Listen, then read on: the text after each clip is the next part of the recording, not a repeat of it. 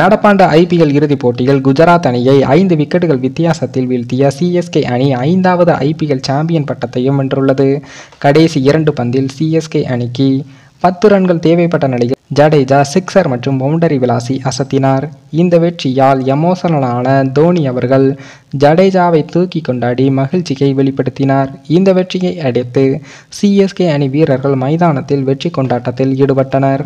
அதே போல T twenty cricket வரலாற்றில் மிக நீண்ட டி டுவெண்டி ஆட்டமாக குஜராத் மற்றும் சிஎஸ்கே அணிகளுக்கு இடையிலான இறுதிப் போட்டி அமைந்துள்ளது. இருபத்தி எட்டாம் தேதி நடக்க வேண்டிய ஆட்டம் மழை காரணமாக ரிசர்வ் டேவுக்கு மாற்றப்பட்டு பின்னர் ஈரப்பதம் காரணமாக முப்பதாம் தேதி நள்ளிரவு வரை நீண்டது. இதனால் சிஎஸ்கே வெற்றி கொண்டாட்டங்கள் அதிகாலை வரை நீடித்தது.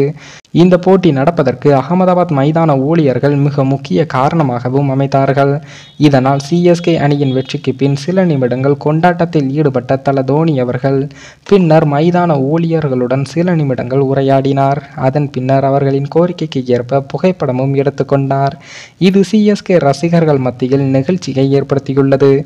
இதுதான் கேப்டனுக்கும் தலைவனுக்குமான பண்பு என்று ரசிகர்கள் பலரும் பாராட்டுகளை தெரிவித்து வருகின்றனர்.